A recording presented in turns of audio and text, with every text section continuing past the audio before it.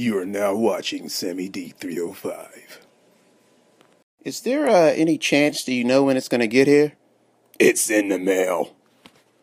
Hey, what's up, everybody? Back with another episode of It's in the Mail. I ordered this um, like two days ago. It shipped on Monday and it got here already. I did not expect it to actually get it that quick. I ordered it um, from Best Buy and it was with the free shipping too.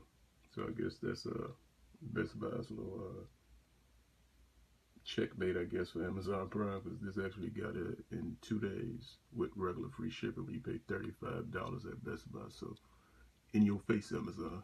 but um, yeah, I'm surprised it actually got it as quick. So uh, let's go ahead and uh, bust that thing open and see what we got in the mail this time.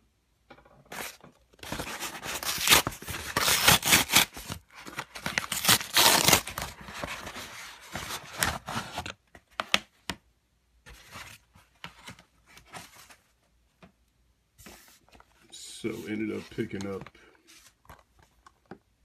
Red Hook Summer from Spike Lee. Spike Lee joint. I wanted to check it out. It was on Netflix, but I said, nah, I'm gonna wait to uh, pick this up because I want to own this one. Check this one out. See if I like it for myself. Trying to add more to my Spike Lee Blu-ray collection. At least try to expand it a little bit.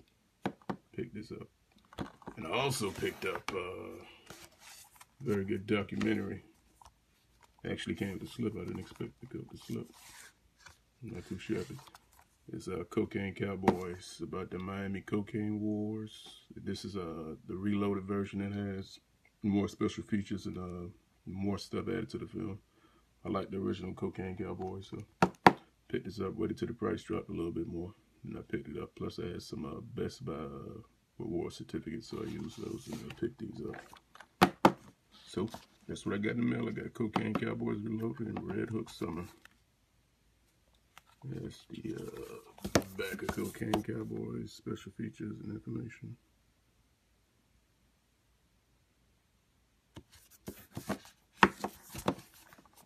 So that's what came in the mail. That's what I got.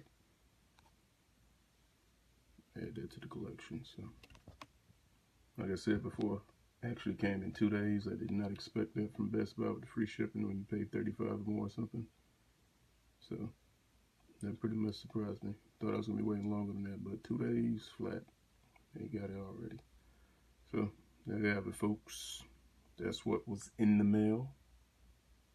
Until next time.